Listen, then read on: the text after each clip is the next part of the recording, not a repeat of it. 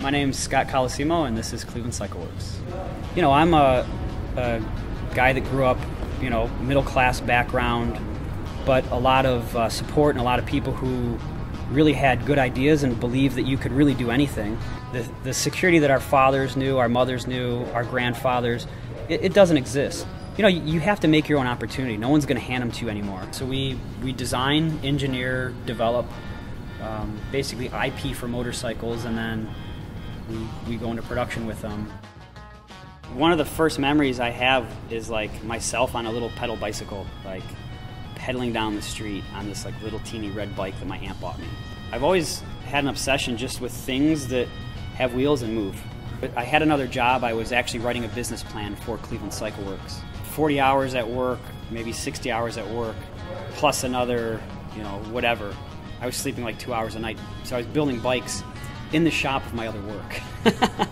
and I took the business plan I'd been kind of writing and changing for about two years and decided I would pitch it to a few people. And I pitched it to a few people, and uh, one of my buddies who also got laid off said, you know, let's do it. A lot of people think that we're a custom shop, and that's not really true. Um, you know, small volume manufacturing is still done on an assembly line. You're still using, you know, uh, stamped fenders and stamped tanks, and uh, it's just on a much smaller volume than, say, like Honda or Kawasaki. You know, everything kind of falls into place. Um, you know, I was just probably like everybody else growing up in Parma, Ohio.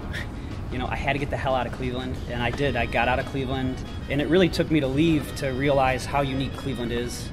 And also, people make things here. And there's a lot of places I go and travel to where nobody makes anything. and you don't realize how special it is to have so many people who know how to make things. So we make things in Cleveland, and that's that's kind of unique. You know, what we're trying to do now is bring all of that production here back to Cleveland. It's it's a lot more than just the manufacturing. Um, I think the, the biggest part of what we do is we create ideas. So we need designers, engineers, fabricators. We need people who actually can take, you know, whatever's in their head and, and put it down and make make it real.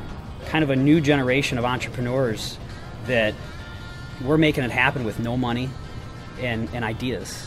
If there's motivation I can provide, you know, showing people like, you know, you can do it. And it's not easy. Um, if you really work hard and you really push forward, you could you could do anything you want.